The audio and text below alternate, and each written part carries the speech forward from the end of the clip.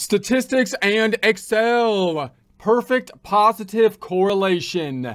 Get ready, taking a deep breath, holding it in for 10 seconds, looking forward to a smooth, soothing Excel. Here we are in Excel. If you don't have access to this workbook, that's okay because we'll basically build this from a blank worksheet. But if you do have access, there's three tabs down below. Example, practice, blank. Example, in essence, answer key. The practice tab having pre-formatted cells so you can get to the heart of the practice problem. The blank tab, blank worksheet so we can practice formatting cells within Excel as we work through the practice problem. Let's go to the example tab to get an idea of what we will be doing, where we will be going. First, a word from our sponsor. Yeah, actually, we're sponsoring ourselves on this one because apparently the merchandisers they don't want to be seen with us. But but that's okay, whatever. Because our merchandise is is better than their stupid stuff anyways. Like our trust me, I'm an accountant product line. Yeah, it's paramount that you let people know that you're an accountant. Because apparently we're among the only ones equipped with the number crunching skills to answer society's current deep, complex, and nuanced questions. If you would like a commercial-free experience, consider subscribing to our website at accountinginstruction.com or accountinginstruction.thinkific.com. We're going to be thinking about correlations, in other words, two different data sets to see if there's a relationship, mathematical relationship or correlation between them. Are they moving together in some way? If there is a correlation, the next logical question would be, is there a cause and effect relationship that is resulting in that correlation? And then the next logical question would be, what's the driving factor uh, which of the two sets of data are driving the correlated relationship and what, of course, is the cause of that. All right, we want to first look at a perfect correlation, which is something we don't always find in nature because usually when we're thinking about correlations, it may not be a perfect correlation. They tend to move in alignment, but not perfectly aligned. But let's take a look at the perfect scenario first, which happens with things like conversions, for example. So if you have a set of data that are in inches and then you look at another set of data that's in feet, then they're going to be correlated, uh, perfectly correlated together because of the conversion. So what we'll do is we'll actually make our inches data from the randomly generated uh, norm.dist function just to practice that. So we'll have a bell curve kind of information. We will round it and then we'll do our feet conversion. We'll do our mean, our standard deviation. We'll plot it out in terms of the norm.dist, just so you can see the relationship uh, that way as well. If you had a set of data that was conforming to one of our distributions we've talked about in the past, uh, such as the normal distribution or bell curve.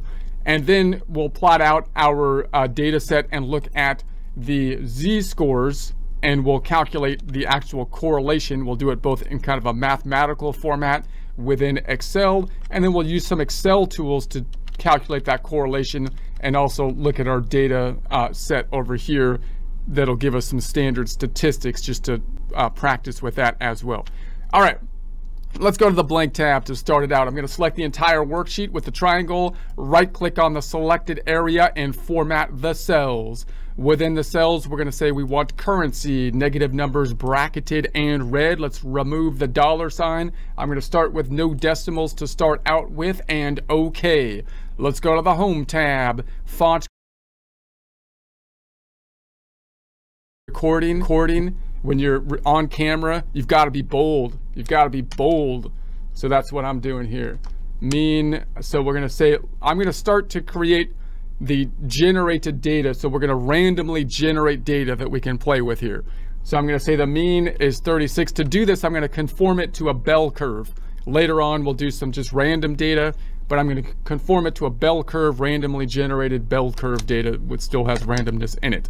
Standard deviation is 15. These are the, some conditions we need to have met in order for us to generate this data that conforms to like a bell curve uh, situation. Let's make a skinny C, and then I'm going to say this is going to be in inches. So I'm going to imagine this in inches. Let's make this our header format. Home tab, font group, bucket drop down, black and white on here. And let's center it, alignment and center.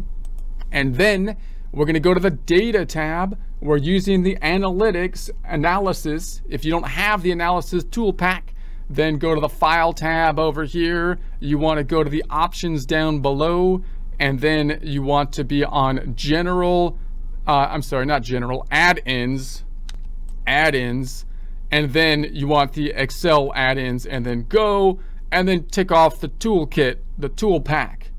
Powerful, it's a powerful pack of tools. And then we'll have the data, the analysis, and then the data analysis, and we're looking for the random number generation, random number generation, and okay.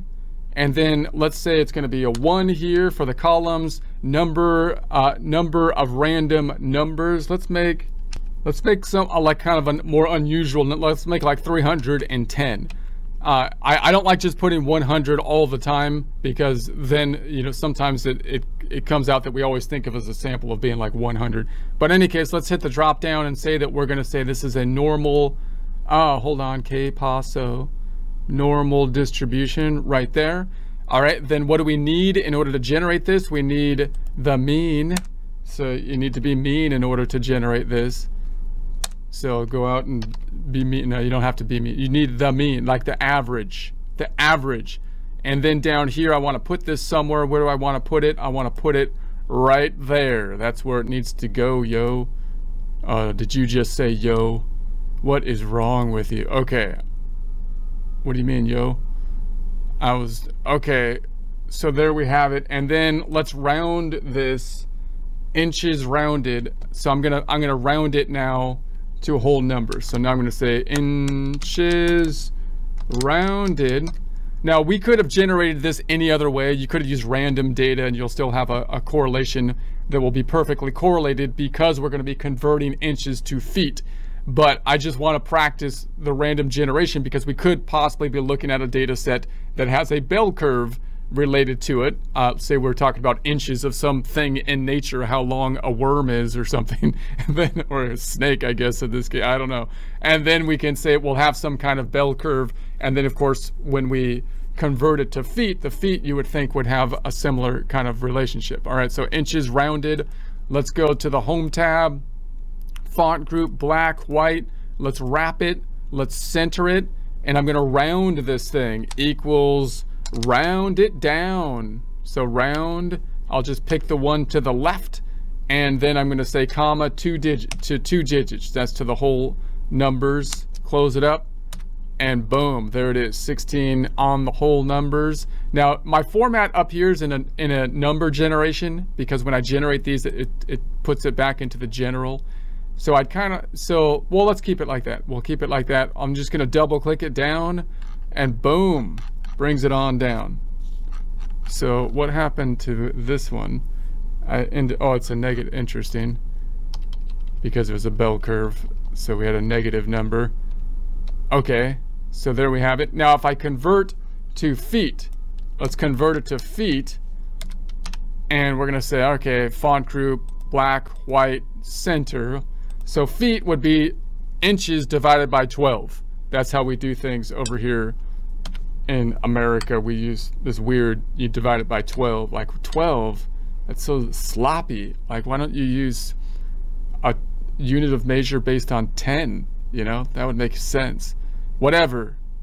Whatever. This is how we do things. Home tab, number group.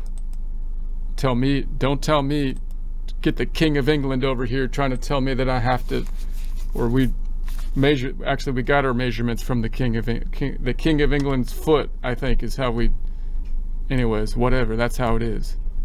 So i'm going to close this up and then we're going to say all right then all right let's make a skinny g a skinny g skinny skinny g and then we're going to say inches let's say i'm going to say this is going to be equal the inches again, rounded, and then the feet. And I'll just copy the format painter this time. Home tab, clipboard, format painter, boom. All right, let's make it, let's make the mean. Mean is gonna be equal to, we'll say average tab, going on over to the inches and control shift down. Taking the average of it. We can add some decimals, decimalizing it, home tab, number group, decimalize. And then we're gonna say this is the feet equals average. Decimalize isn't a word, by the way, but I'm making it into a word. Control shift down. I think it will be a word once I have uh, shown its utility in practice, decimalized. All right, then we're gonna say this is gonna be standard deviation equals the standard deviation. We're look we're moving to the sample this time. So S, not the population. Standard deviation of the sample. Tab, I'm gonna control shift down, picking that up. Boom, decimalize in that one. Home tab number, decimalize. So we could really recognize you can't recognize how they really are unless you can see the decimals. You need to see the decimals. You need to get under the hood before you know who they really are. Home tab, number group, decimalize. Okay. Uh, so, so, so now when I compare these two, obviously I can look at the difference now, the difference, and I could say, all right, well, what if I was to like, look at these two this way? I could look at the difference in the mean and the difference in the standard deviation, but that doesn't tell me too much, right? Because home tab, number group, because they're in different units. So it doesn't that doesn't really help me. Uh, but I could compare like their z-scores. So that's one thing I can do. I can compare, uh, and, and that's how our correlation will basically work. Before we do that, however, let's first let's first imagine that we're, we're going to say, hey, that this set of data looks like it might look, might look like a bell curve. Like if I select this data, I'm going to go, hmm, is there a relationship with this data? If I select all this data, control backspace, and then go insert and make a histogram from it. Here's my histogram based on inches. So this is the inches histogram. And why is it not? When I type, you do something. That's how computers work, computer. Don't you start protesting on me. You know I was typing something.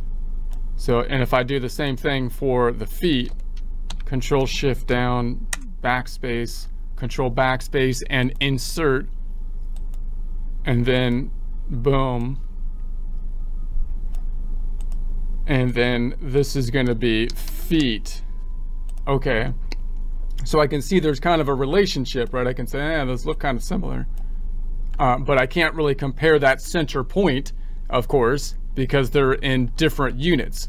But it's like, okay, well, they both look similar. They both look like they conform possibly to a bell curve relationship. So maybe I would maybe I'd compare the bell curve just to play with the bell curve before we get into the correlation here. And then so I'll do that because that'll be fun. Muy divertido. Muy divertido. Okay, so this is going to be then, let's say we'll take the standard deviation. Let's take four standard deviations. So if I'm going to do this bell curve thing, what I want to do is plot out the bell curve x for inches and then P of X. And then we'll do the Z as well. And then we'll do the same thing for X for feet. And then P of X. And then we'll do the Z for feet. This will be the Z for inches. All right, but I need to know how far I need to go. Where, where do I need to start at with my x's. So I can say we'll do the four standard deviations as we saw in a prior unit because that'll encompass the vast, vast majority of the data. So I'm going to say four standard deviations and let's say that we go upper x and lower x. So I'm going to put them, I'll keep the same headers here, inches and feet this time. So the upper x is going to be equal to the mean plus the standard deviation times four. That's as high as we, that's how, how far up we're gonna go and the lower, I, wait, I usually do the lower first, don't I? Let's do the lower lower x, and then the upper x. So let's be consistent, if you would. Otherwise you confuse people. Times this, no, it's minus, minus this times 4. Okay, so that makes sense. So we're taking the 16.29 times 4 standard deviations minus the center point, the mean. All right, so negative 30. And then this one is going to be equal to uh, the upper, which is going to be the center point of the mean plus the standard deviation times 4 standard deviations. Okay, that is making more sense. And then this one, if we do it in feet, is going to be equal to the feet middle point, the mean, times the standard deviation times 4. I'm not times, minus the standard deviation times 4. So middle point minus 4 standard deviations will get us to the lowest x, and then we'll take the upper x, which will be the middle point, plus the standard deviation times 4. Okay, let's add some decimals here. Home tab, number, decimalizing all four of them at one time. Boom. Decimalize. And then we'll close, let's shorten this up. And so there's that. And then what we will do then is let's make these black and white, making them our headers. Home tab, font group, black, white, alignment center, the inches. Let's make this smaller too. Let's wrap them as well. Home tab, alignment, wrap them. Wrapping, wrap them like Santa Claus on Christmas Eve. Okay, so then we're gonna say, uh, we're gonna start with the inches at the lower, which is going to be negative 30. So I'm going to say negative 30, and then I'll say third, and we'll say then 30, this is going to be negative 29, and so on and so forth. I'm going to copy it down till we get to 100. So I'm going to say, let's drag it down. That's not too many. I should be able to get there pretty fast. It's still kind of far, but it's not too bad. I could have done my sequence formula to make it más rápido, faster. But let's go back up to the top. And then we're going to say, okay, let's do our norm.dist equals norm.dist. And then we're going to take our x here, comma. We're going to take the mean, which is going to be this one. That's outside my data set, therefore want to make it absolute. F4 on the keyboard, dollar sign before the I and the 2, comma and then the standard deviation, picking up this one, F4 on the keyboard, dollar sign before the I and the three, comma. Do we want it cumulative? No, therefore zero or false, close it up, and let's decimalize, let's, let's percentize it, home tab, number percentize and decimalized, percentize and decimalized. and then we'll copy it down, and there's our normal uh, distribution. And then we can look at the z-score, which would be equal to brackets, the negative number minus the middle point, the mean. And then I'm going to F4 on that one to make it absolute, dollar sign before the I and the 2, closing up the brackets, and divided by the standard deviation, F4 in the keyboard, dollar sign before the I and the 3, and enter. There's the z-score. Let's decimalize it. Home tab, number group, decimalize, and double click the fill handle. So there we have our z-score, and then I'm going to make the p smaller, and let's do the same thing and say the feet also looks like it's conforming to a bell curve, of course, because it's converted. So I'm going to say, let's do that here too. Let's just copy this format. Home tab, clipboard, format painter, pasting that here. And let's just play with this one. We're gonna say, all right, the negative, the feet needs to go down. How low does it need to go? We're gonna say it goes down to negative three and then negative two. And then we'll bring it up to 8. 8. Boom. All right, and then let's do our norm.dist equals norm.dist. We're picking up the mean, F4 on the keyboard, making it absolute, comma, standard deviation, and F4 on the keyboard, making it absolute, comma. Oh, hold on. First was the X. I have to pick up the X. I got ahead of myself. And then comma, then the mean, then the mean.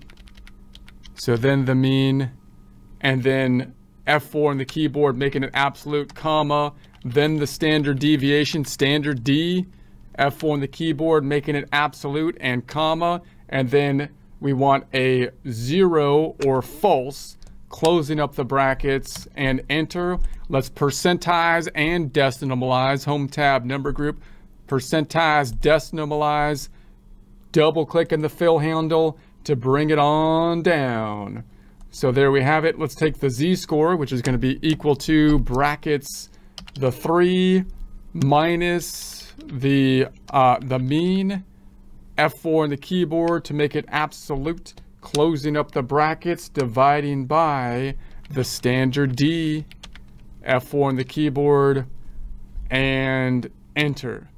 Let's decimalize it, home tab number group, decimalize, and double click to bring it down. So there we have it. Now if I so if I looked at this bell curve kind of relationship, I can start to compare like the z-scores. So remember, I can't really compare the, the units themselves, but I can start to look at the z-score and I can say, okay, well, this this one, like this four, I don't see anyone a four over here, but this 3.62 uh, is similar to this 3.62, right? So if I like, huh, that's interesting, right? We can kind of see patterns happening here. 3.62, 3.62. And then I can be like, well, this 2.8 uh, is there, there's a 2.88 here. And so let's make this a different color and say, hmm, 2.88, 2.88. And if we looked at, uh, if we looked at one uh, foot, one foot, 1.41, going to say 1.41 and compare that to the z-score over here, you're like, all right, 1.41 is 12 inches, right? So we kind of see that, well, that sounds 12 inches is one foot, z-score is the same. You see how you, we see a relationship happen. If there's, if I go to 24 inches, say, I think I see a pattern here, 24 inches, that's 0.67. I would think that would be like two feet, 0.67. So you see, you see how these things are, you could say, you could start to see where the patterns are lined up because of the z-scores. Could kind of help you to line things up and say, okay, I think there's there seems to be a relationship here. And that's in essence what the the z-score is kind of doing. So what we'll do, uh, we're going kind of long here, so I'm going to copy the formula on the z-score and it's going to look something like this. So next time we'll we'll consolidate. Right now we've kind of come very we're like there's got to be a relationship between these data sets, right? We already know there's a relationship, but we can say, well, I, I noticed that it conforms to a bell curve, and I noticed that both the inches and the feet conform to a bell curve. And then when I plotted out the actual uh, like a bell curve based on the data, for inches and feet, I can kind of see a relationship between the z-scores. And so now I could say, well, can I use those z-scores to kind of define the relationship mathematically? And here's the formula that we'll look into. We're going to sum up, in essence, the first z-score minus the second z-score over the n minus 1, and the n minus 1 uh, is the number of items minus one, which usually corresponds or ties into when we're using the sample data as to like the population data. And so, and so this will give us our formal kind of z-score calculation, and we'll do it a couple, we'll calculate that a couple different ways uh, next time. I said formal z-score. It'll give it, we already calculated the z-scores, but the z-scores will be used within it to get the formal correlation calculation, and we'll do that next time.